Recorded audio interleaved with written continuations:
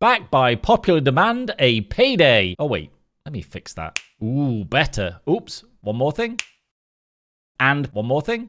Hello and welcome back to another Payday 2, or should I say Payday 2 slash 3 ranking video. Wait, Payday 2 thirds? Kind of fits. What do you mean by that? While Payday 3 is on its comeback trail, there sure is an appetite for its older brother, which actually feels more like a second cousin twice removed. But there sure are the players to back this up. So today, we triumphantly merge the two and answer the question I get every stream over on twitch.tv slash beecroft. Um, what heist would you like to see from Payday 2 in Payday 3? All right, I made a bit of fun there, but it's actually a really good question. Hence, here we are with this video.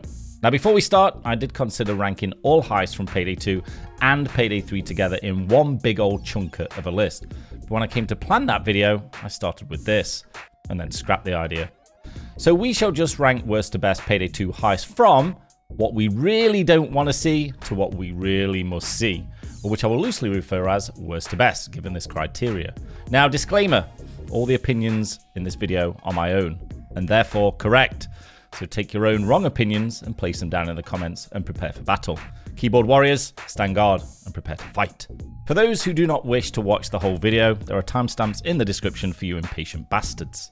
There are 78 heists in Payday 2. Holy shit. That's right. Well, there are technically more, but we're going to lump a couple of duplicates together, and the tutorial thingamajig isn't in here either. Now, this list may vary from my previous ranking Payday 2 heist list, as there's some nuance here, plus some new ones, and times have changed, and opinions are allowed to as well. This list is not exactly my worst to best of Payday 2, but a mix between a wish list and what I would like to play, taking into account the newer visuals of Payday 3, its gameplay feel, along with what I think the game could benefit from, plus a bunch of other shit rolled in. If you do happen to like these kind of videos, consider a cheeky subscribe and a like if you're feeling generous. It really, really helps me out when I make a YouTube video once every two years. Enough rambling, let's get into it. Starting at number 78 and in the just no category, Cook off. All right, I'm being kind of ironic putting this one at the bottom, seeing as it's already in the game. But to me, it illustrates a pretty poor decision of a heist port. This heist is the most basic possible. A house in the middle, grab three things, put them in when you're told to, and leave. The version we got somehow feels worse than Payday 2's, and at least we had achievements for the prior. We don't have Bane. Shade messes up once in a blue moon, taking away any doubt, and it caps at 19 bags. There's no Captain Winters. It looks a little nicer, I'll give it that, but the lighting's all kinds of messed up. For some reason, there are cook-off lovers out there, but I'm not sure if the money and leveling capacity got intertwined with its actual fun, or in fact took over the reasoning. Truth is, this heist is boring, especially considering heists that have you all over the place and not just in one spot. 77, Safe House Nightmare. This is a nightmare. Granted, it's a bolt-on meme heist for an event, which actually makes me yearn for the days that we actually got these. Oh, how we took them for granted. This heist wouldn't really be great in Payday 3. We already got the cloaker spam. Imagine the atrocities in this heist. No thanks, keep it. 76 is White Christmas. Never liked this one, barely played it. You kind of feel confined to just one building and only leave when you have to. Would not translate well to Payday 3. Best thing about this heist is the interaction with the drunk guy who is that Almir? I think it is. Bring back that, not the heist. 75 is Cursed Kill Room, another event heist that has you running around a building. There's a timer and there's mass stuff, but who knows what the fuck's going on. Again, I applaud the posterity of getting free event heists. Hopefully they return, just not remakes of these shitters. I do feel bad pooping on free content as I feel so starved of it right now, but we have to keep our head in the game here, fellas. All right, so we kind of made it out the lowest of the low. Now to the plain old, just don't do it portion of the show. 74 is Rats, barely pulled itself away from the bottom part due to the multiple day shenanigans. Ah, we missed thee. Another sepia moment from the days of yore. Day one is cook off with a much smaller bag cap. Getting all loot on that day will take you about 30 minutes. You can get an escape to deal with afterwards, another 5 minutes. Day two of the heist is kind of fun, especially stealth, another 5 minutes. You can trigger escape again, another five minutes. And day three, you can speed run it. Disarming the stuff on the bus is kind of cool, but complete fully is another five minutes. Overall, this five day heist can take close to three hours to complete. Well, not really, but thanks, but no thanks. 73, four stores. I think we got our fix and a good upgrade with the Diamond District in Payday 3.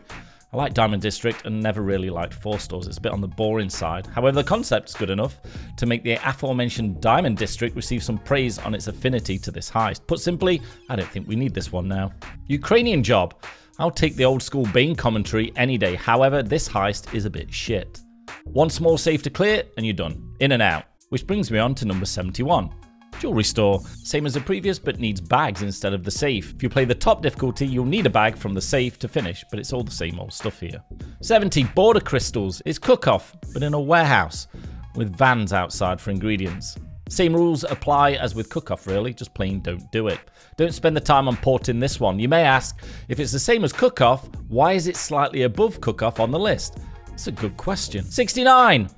Border crossing sounded excited there. Please no, a heist where if you fail day two, you have to redo day one. Jesus. The warehouses feel like election day two. Flow of the heist is not great at all. And the amount of bags is ungodly. Let's not subject ourselves to doing this one. 68 takes us into the not bothered category, a collection of heists that are starting to become more intriguing if they were to enter Payday 3. Wouldn't be my top picks and wouldn't necessarily push for the remake either, but I certainly wouldn't kick them out of bed if you know what I mean.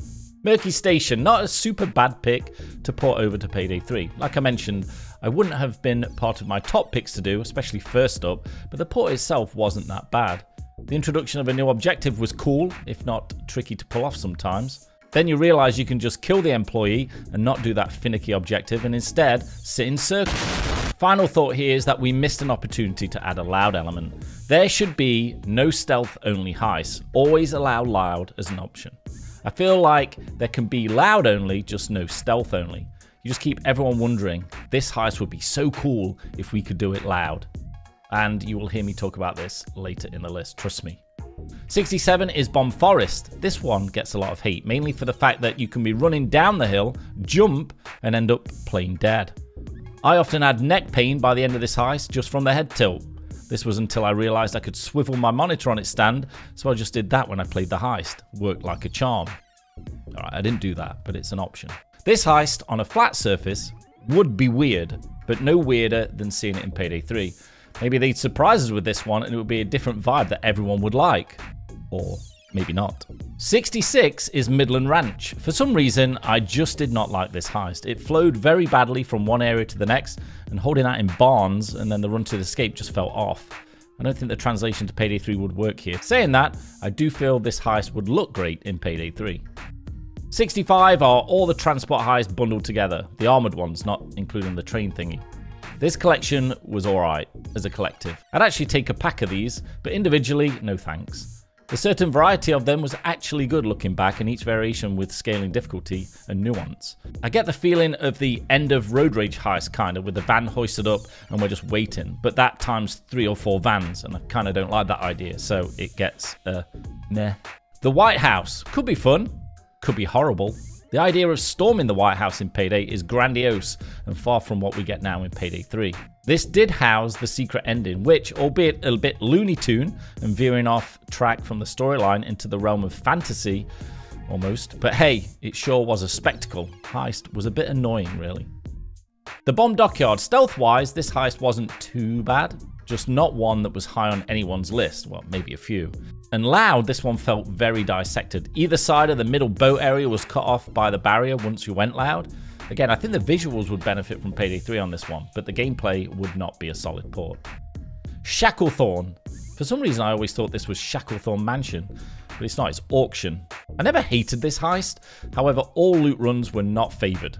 Good feeling to it, again, would look great in Payday 3. If it ever does get ported, don't bring back that achievement, you know, the finish in a certain time thingy. 61, Prison Nightmare. Ah, the Robocop train. How I loathe thee. Another event heist that was introduced and probably the best of the bunch. I mean, who doesn't want an 80 foot cloaker doing roundhouse kicks in the background looking like an Elden Ring boss out here? Vibe is good on this one, definitely creeping up towards the next category now. 60 Lost in Transit. I'll be honest, I didn't really play this one that much, but I do remember that it wasn't half bad. Great criteria there, huh? Dragon Heist. With a majority of heists happening downstairs, this heist surprisingly wasn't bad as my initial impression. Simple and has a pretty decent flow, no major issues really, also didn't play this one that much. 58 Breaking Feds. This one gets a lot of hate too. A little petty stealth heist would probably be super easy given Payday 3 stealth mechanics, so would therefore need a little bit switching up. The aesthetics pretty low key, seemingly taken from day 2 of Hoxton Breakout. The opportunity to add a loud component too to this one would be welcomed. 57 Breakfast in Tijuana. Borderline, next category now. Stealth on this one was a bit tedious, but loud was some fun. The heist could have been a little longer, I thought, and setting sprinklers off on things that are burning, it was just annoying. If it were to make a Payday 3 appearance, make it longer. I feel like if you move around so much inside the building that spawns rarely catch up to your location, that can make this a little bit easier. 56 is Alaskan Deal. Ain't too bad this one. Some indoor spots, some manic outdoor combat, a big boat, a train car, a storyline curveball at the time of release. I feel like if this heist was released in Payday 3, it would feel a bit alien and the storyline would be a little butchered. This heist came at a pivotal time and sat well in the story. With Payday 3's lack of story and attachment to it, sadly this would feel out of place in spite of the heist feeling good to play. 55 brings us to the wouldn't mind section, which could be called would like at the same time. This part could serve as the start of a potential wish list that would not offend if delivered. Nightclub, a classic and seemingly better than Rock the Cradle, if not just for nostalgia. Nothing elaborate, just a plain old close quarters nightclub that tickled our pickle for the last 11 years. For stealthers, seeing the Gensec sign missing on the wall meant you had a shot at an easier stealth run, only to fuck it up and then see the Gensec sticker on the next run. If you know, you know. Good times. Meltdown. First off, let's clear this up right now. This is not Shadow Raid Loud. It never was, it never will be, and just no. This one could be fun in Payday 3. Driving forklifts and cars, turrets, and a long run to the train. And don't forget the nukes! It's a fun heist, it has its moments, and you have to love Vlad on this one. 53 is Mall Crashers. Smashing up a mall to meet the value criteria is a top notch idea. 11 years ago, too. As simple as this heist is, it has a feel. Hiding out in your favoured store while you wait 12 hours for the chop to show up is fun has a cool stealth can't stealth mechanic to it that's arguably a bit slow and boring, but a nice little challenge to do once in a while. 52. Henry's Rock suffers from too much going on sometimes, but in that chaos, it's an okay heist. As objectives are played out, the rooms in which they do are balls to the wall combat. Not sure how this would actually translate to Payday 3, probably a shit show at best, especially given how the special enemies are in Payday 3. There could be some fun in there somewhere. Hell's Island is intriguing, making your way through the facility and eventual freedom fighting at the end as you race to the chopper exit. This heist could be a good addition if done right, and the same reservations around storyline would surface just as Alaskan Deal. But this one would not be a super bad pick. 50. Sounds like a milestone, but it's really not. Santa's Workshop. Santa's elves boxing up presents of crack. You have to love it. Nostalgia to the max for me on this one, and the safe event thingy that you can trigger was always fun. Heist is manic at times, trying to keep their elves doing their work, and the management of that based on location was always chaotic. Soundtrack slaps on this one and applaud a single event heist of this caliber. A rerun of this in the upcoming holiday season would surely be welcomed. Nudge, nudge. Go Bank. I believe the dream of this port is actually a non-starter, as the consoles never got this even though it was released in 2013. A tidy little bank heist that has some cool stealth stuff going on with phone calls, endless sieves, and the blackmailing bastard who demands a bag of our finest over the fence. All I have to say about this one is one day, mark my words, I will start this heist and the vault will be open. Erection Day. Excuse me. Election Day offers up something pretty cool, despite the heist being a little weak-ish. A variation that gets you an alternative day 2 is pretty cool, and funnily enough, that variation is the best thing about this whole heist. As it's commonly known as Plan C, or heist name wise Breaking Ballot, is a fun heist to go loud in. 47 is Diamond Store. Ah, classic. And a heist that released one month after game launch. See, we can do it. A nice little stealth that, again, would probably be real easy given Payday 3 stealth mechanics, but the loud aspect of this could be pretty interesting. A large open storefront as a massive cops come flying at you in waves. Crude Awakening, the last heist to be released for Payday 2. I like this heist, although it was a little confusing to navigate at first. The setting is really cool and the objectives are fun. I feel like both stealth and loud would translate well with this one. Art Gallery. We got Under the Surface in Payday 3, which visually and audio wise is a step up. UTS has a camera problem, and at the current time, with game modifiers being thrust upon us, this can be hell and unfun. The pre-planning in Art Gallery allowed spy cams to help show guards and was only on one level in a very simple layout. UTS is a definite upgrade, was it not for those damn circles? Art Gallery Loud is slept on. Yes, it's simple and kind of restrictive, not being able to leave the gallery area, but it's not a long heist and feels pretty fun to play. Bulluc's Mansion, although you get the eyes wide shut vibe from this, it ain't half bad. Finding the animal codes to then crack the wall thingy and then put the code in is cool. Loud is fun, the whole place is a good area to fight. Visually, this again would look great in Payday 3. Hopefully I did the numbers right and we're at 43. Now, this is Aftershock, not one of my favourites, in particular the heartache of the fails due to the final van lifting debacle. But that being said, location-wise feels really good on this one. Very out of the norm for Payday. This could easily be a transplant into Payday 3 and I'm sure would be fun to go along with that. 42 is Brooklyn Bank, a cheeky bank heist with some mayhem. Has a good vibe, fun to play. Not much else to say about this one. A very neutral heist, in my opinion. Doesn't do anything great, but doesn't do anything bad either.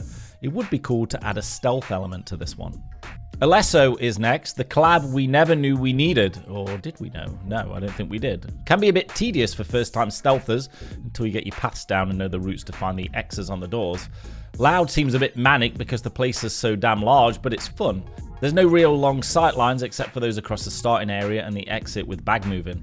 The ambience of this heist would serve well in Payday 3. Brooklyn 1010 almost feels like a three-part heist between the initial starting area, the middle warehouse bit thingy, and then the shorter holdout at the end. This would port well to Payday 3, I believe. It's just a pure out, loud banger that can catch you off guard sometimes. Does nothing special for a loud heist, but does have something I like about that. Uh. Aha! 39. We finally get to the wants. This steps the level up a bit now, getting to the wish list of sorts. From this point on, we have 30 something so heists. So 39 itself, Watch Dogs, a fun two-dayer, let's be honest. Neither day is amazing, but together they're fun. Holding on for dear life on day one, wondering where you need to eventually move those bags, and cross your fingers it's not the opposite side to the one you chose, or always choose. Day two is similar with the boat drop off thing, but way more forgiving because they're closer. Would be a cool addition to Payday 3, regardless of how the story would fit. 38 is Train Heist. Okay, hear me out. Yes, this is not everyone's favourite. Mine either, clearly. There are many heists above this one. But I think it could be a cool, good port to Payday 3. Visually, Payday 2 took this one on well. It looks good for that game. Stealth-wise, it can be a challenge, and Loud, to be fair on Payday 2, is a bit of a shit show. That being said, with a slight rework, this could be a lot of fun in Payday 3. Don't believe me? Well, I don't really care. 37, Stealing Christmas came to us right before Christmas in 2016 and has a kind of mall crasher vibe. A drunk dude in a Santa outfit and a big Christmas tree, what more could you want? It's fun to run around a mall, hold out in particular stores until the objective is reached, and then on to the next one. Want to throw this one our way as a Christmas prezi, Starbreeze? Pretty please? 36 Biker Heist. Biker perk deck, Ron Perlman's monotonic heister portrayal, and a hidden bottle of booze. Day one is fun, loud and proud, and a couple of variations of objectives are always welcome. Off the bat, do you get the good van or the shitty van? But the jewel here is day two. Again, hear me out. This day has its haters, I get that. But this ain't like Payday 3 sir, where they just shoved down our throats as many times as they could. This was something that was seemingly tried out, and it looks cool, plays cool, and there's only one heist that does it. Now, who doesn't like being on a moving train that you have to traverse both ways to complete? It's like a dash to the finish line and not a hold out and fight to the end. It's a cool take, and although it may not float your goat, you must tip your hat to something new like this. 35, San Martin. A better looking bank heist. You could say a branch bank job with a twist. Cool opening sequence if you pre-plan it. Fun stealth, fun loud, moves well, and there's definitely been some heartache with the final bag moving here. I bet you know where those damn snipers are on this one. A port of this to Payday 3 would be welcomed. Please and thank you again. 34 Reservoir Dogs, two good solid loud days in this house that feel completely different from each other. Day one, and I mean actual day one, none of this confusing shit. So I mean the day we actually play first, you know, day one. The first day we play is the warehouse and the objective that pulls us away to either one of the far corners. Day two is the store and then that kind of weird long sprint to the end. Story-wise, very cool. Not sure how it would fit in Payday 3 with that, but the heist itself would be very good, I'm sure. Hostile Takeover, one of the newer heists I didn't put much time to in, but again, one that within the time I did spend, actually not that bad at all, so it's relatively medium on the list. A good solid loud heist with good gameplay and no real standouts. 32 is Hoxton's Revenge. This definitely would be more sided to stealth, I feel. Switch up some objectives and making this heist a bit more elaborate for stealthers could be really interesting. Just don't add circles. And at the end of this, who would the FBI be guarding in the panic room on this one? 31 is the Diamond Heist and the first on the list from Payday the Heist. I'd honestly take a full nostalgia pack of all Payday the Heist maps. Starbreeze, take my money. The Diamond Heist is a nice creepy stealth or a plain old loud and proud with no broken stuff. Not much variation on this one, so a pretty easy port heist mechanic wise. 30 is Black Cat. For me, is a sleeper of a heist, one that's really fun in both playstyles. Long hallways, big open casino area, outdoor boat section to finish. Objectives are fun, Heist is a lot of fun overall and would feel good in Payday 3, visually and gameplay wise. 29 Beneath the Mountain suffers from the same Aftershock van issue, but it's a chopper at the end of the heist. But I can look past that. The physical progress you make through the heist is really fun. Outdoors to caves with vaults, back up top and prep and escape by a chopper. Cool stuff. Let's have some more of that with Payday 3. Lab Rats. I'm going to get some stick for this one. All right, I get it. It's not a fan favorite, but it's controlled chaos. Yeah, we're looking at large batches of meth in oversized equipment, but the verticality of this map is enormous. And we can jump off the top and land safely on the ground if your ping is good, of course. Headless dozers are here. Big safe event thingy. No cover, crazy spawns. Music rocks hardcore. Admit it, you like lab rats. It's okay. Go on, say it. Join us. 27 No Mercy. In the opposite way I talk about lab rats, I'm usually on the other side when talking about No Mercy. This is not one of my favorite heists, and I'll tell you why. It's too predictable. We all know where the spawns are. You wait there and you spawn kill. Yeah, you get a ton of kills, and if you let it get out of hand, it can overrun you and get a bit crazy. But I'll be honest, I do get a bit bored on this one, especially if I have to drill three doors to find the right person on the table. And then after all that, do the blood samples. That negativity aside, I don't hate it and I think Payday 3 version could improve it. So it still sits in the want category for me. Number 26 on our run of classics is Heat Street. A mixed bag amongst those I hear from, but I'm actually a Heat Street enjoyer. The actual street where you feel the most heat, see what I did there? At the end up the big hill can be a pain, but is rewarding if you nail it. It can also be a bit too easy if it's timed right and there's no thingies going on. 25 is Greenbridge, a fun heist, both the chaos that can ensue in the first main objective area with the vans. Yeah, you can spawn kill pretty well here too, but this one easily overruns you and taking cover in the recessed area is pretty critical. The construction building and the rooftop area is extremely fun to play, albeit a little short, and then the small run to the drill and the bolt line to the finish. Good in Payday the Heist, great in Payday 2, could be amazing in Payday 3 question mark. 24 is Undercover, would feel great in Payday 3. Multi-level high, simple objectives. Payday 3 could easily add circuits to this one. The addition of an objective on the roof or something to prolong the heist just a little bit more before exiting could be fun, but definitely not necessary. Counterfeit, the next Payday the Heist heist on the list, and the end of this small run of them. I think we can agree that all the ports to Payday 2 were done well from Payday the Heist and improved on the original. My hope, and also the reason I place them so high on this list, is that I would like the same improvement to happen again should they enter Payday 3. Not to say a straight port wouldn't be welcomed, but I feel they would look to make some positive adjustments. Counterfeit is a fun heist linking through two buildings to the basement. Printing money is a tad annoying, but not the worst. Framing Frame, yet another launch map for Payday 2, sitting high on the list. Fun fact Payday 2 launched with two three day heists and three two day heists. Payday 3 launched with 99 boxes. This heist gives us Art Gallery and a pretty worthless day 2, sadly, and a really cool day 3. If day 2 was reworked for Payday 3 and something worth playing, this heist would be top tier for sure. Day 1 and 3 are classics that would barely need touching. If anything, give us Bane back on day 3 and please God no circuit. Here we are in the need category, technically A, you could say, if you're a stickler to the tier list rules. These must come to Payday 3, no ifs, ands, or buts. So let's take this away. Bank Heist, the OG of heists. I don't need all the variations, just one, and it needs to be a straight port. Now, don't get me wrong, this needs to be on top of regular heist delivery, not an instead of. I don't want to wait two months for this bank heist, then get nothing for two more months. It just needs to be present. It's a staple that we all need. Even if you hate it, trust me, you need it to make the game feel like payday. Top 20, hitting you with the GOAT Simulator. That's damn right, I put it here. This is another hear me out situation. Day 1 is a really cool heist.